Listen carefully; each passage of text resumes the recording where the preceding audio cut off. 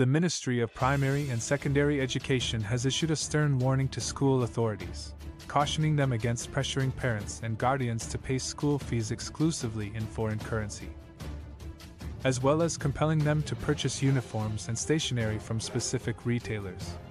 The ministry's directive, issued prior to the reopening of schools, granted parents the freedom to choose where they buy uniforms. Moreover, schools were instructed to accept tuition fees in all currencies, aligning with the country's multi currency policy. The ministry expressed concern over various irregularities observed in schools, including the withholding of public examination results as a means to force fee payment, a clear violation of children's rights. In an official statement, the Ministry of Primary and Secondary Education highlighted the disregard for approved governance procedures by certain schools.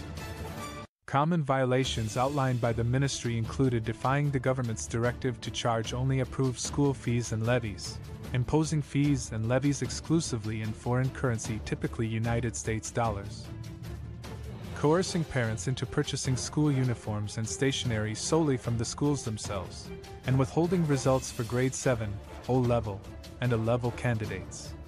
The ministry reminded all schools that they are bound by the proper procedures for adjusting school fees as outlined in Secretary's Circular Number 1 of 2023.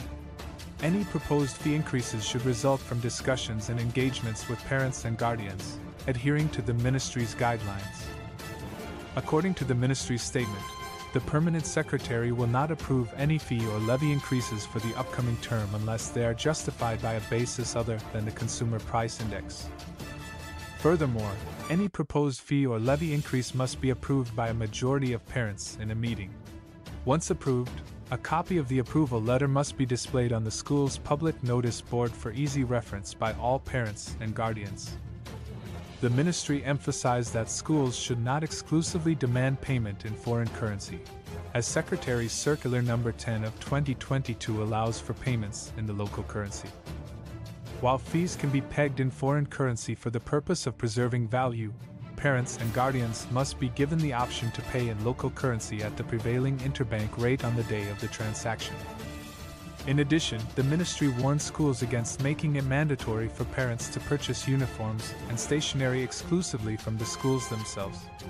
This directive aligns with the ministry's efforts to ensure fairness and affordability for parents the ministry emphasized that schools should not exclusively demand payment in foreign currency, as Secretary's Circular Number 10 of 2022 allows for payments in the local currency. While fees can be pegged in foreign currency for the purpose of preserving value, parents and guardians must be given the option to pay in local currency at the prevailing interbank rate on the day of the transaction.